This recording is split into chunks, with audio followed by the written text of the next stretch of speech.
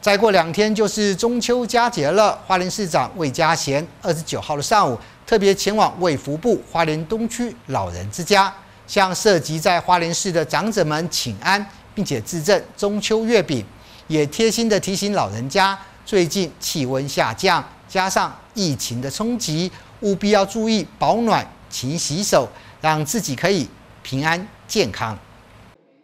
二十九号上午，花莲市长魏家贤协同社劳科长肖子卫，带着两百多份月饼来到东区老人之家，慰问涉及在花莲市的老大人们，并预祝他们中秋节快乐。而对于东区老人之家照顾老弱，提供全人、全程、全队的全面性照顾，市长魏家贤也给予高度肯定。那在东区老人之家里面，我非常谢谢我们这里的家主任，还有我们所有的童工，对于我们长辈的一个关怀跟照顾。那今天是针对我们花莲市的所居住的住户，我们发了两百多份的月饼。那我们希望每一个节庆都能够及时的来关怀，那关心他。那我们特别特别也谢谢我们代表会哈，大力的来支持我们公所很多很多的预算，让我们可以长期以来针对我们境内的一些独老或是一些需要照顾的长辈。都能够及时的来关心他们。东区老人之家主任宋继宁也感谢市长魏家贤及民力里里长肖文龙对东老长辈们的关怀，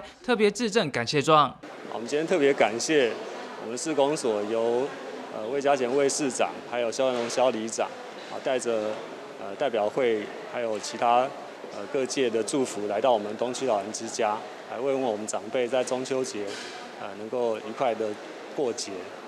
而主任宋继宁也表示，东区老人之家去年设立日照中心，提供花莲市新城吉安乡，只要有失能或生活自我照顾有限制的长辈，都可以透过一九六六专线来申请，在东区老人之家友善长者的生活环境上，可以获得多元及连续性的照顾服务，欢迎市民可以多加运用。记者徐立琴，花莲市报道。